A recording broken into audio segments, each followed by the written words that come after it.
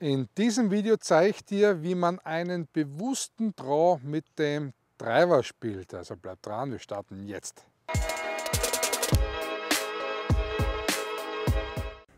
Hallo, mein Name ist Christoph Bausig und ich bin PGA Professional im Golfclub Linz St. Florian in Österreich. Auf meinem Kanal geht es um Golf und darum, wie du dein Golf verbessern kannst. Und wenn du in Zukunft kein Video mehr von mir versäumen möchtest, würde ich dich bitten, den Kanal hier unten zu abonnieren und die Notifikationsglocke daneben anzuklicken, damit wir uns in Zukunft nicht mehr versäumen. Wir befinden uns hier im Golfclub Linz St. Florian auf Loch 13. Dies hier ist ein starkes Dogleg nach links und wir wollen den Ball ziemlich genau auf diese Bunker hier starten lassen und dann darf der Ball eigentlich so weit nach links fliegen, wie er möchte.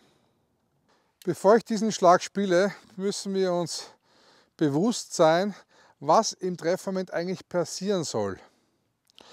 Und zwar es ist so, wenn wir einen Draw spielen, dann wird der Ball ja rechts starten und dann nach links zum Ziel zurückdrehen.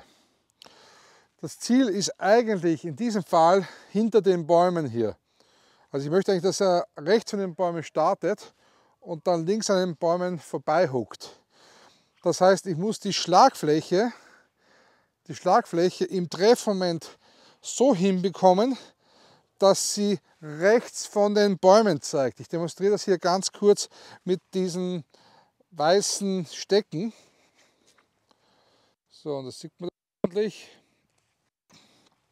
Also noch einmal, der weiße Stecken repräsentiert meine Startrichtung.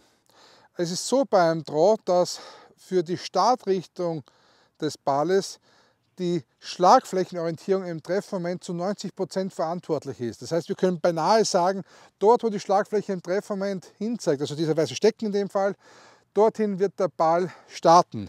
Das mache ich mal eben hier, also ich decke den Schlierkopf so hin, dass der in die Richtung zeigt, mehr oder weniger zu, den, zu dem linken Bunker hier.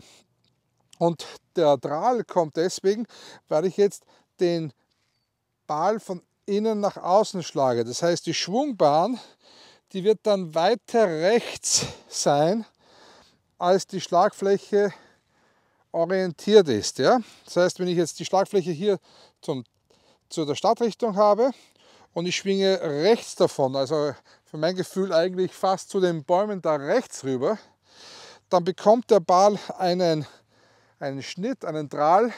Er wird ungefähr zu den Bunkern starten und wird dann nach links zu meinem Ziel fliegen, in dem Fall hinter den Bäumen. Vorausgesetzt natürlich, ich treffe den Ball wirklich in der Schlagflächenmitte. Das ist also der Weg, wie man einen Trau spielt.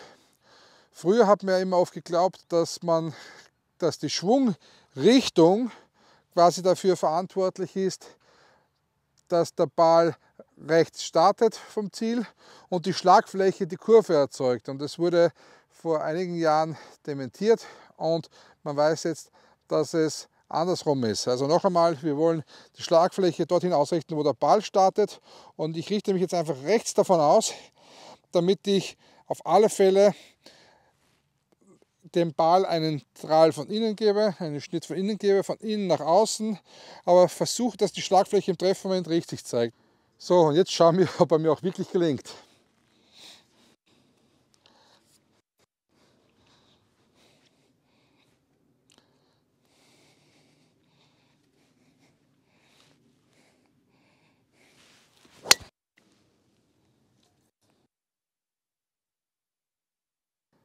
Dieser Ball ist jetzt rechts gestartet, Richtung den Bunkern. Ich hätte gern gehabt, dass er ein bisschen nach links geht, aber an und für sich bin ich mit dem Schlag zufrieden und ich wünsche viel Erfolg beim Nachmachen.